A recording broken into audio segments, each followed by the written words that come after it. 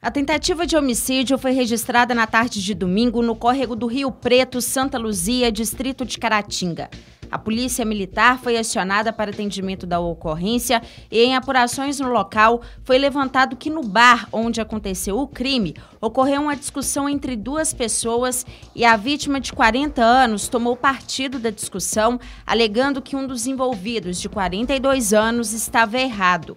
A vítima, que estava de posse de uma faca, deu um empurrão no homem de 42 anos que caiu ao solo.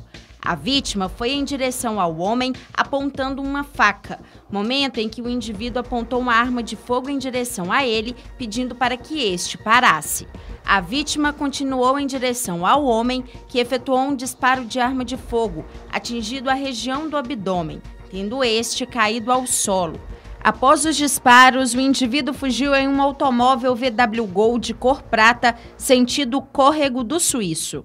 A vítima, de 40 anos, foi encaminhada para atendimento médico no Hospital Nossa Senhora Auxiliadora, em Caratinga, com lesão externa no abdômen e passou por uma cirurgia.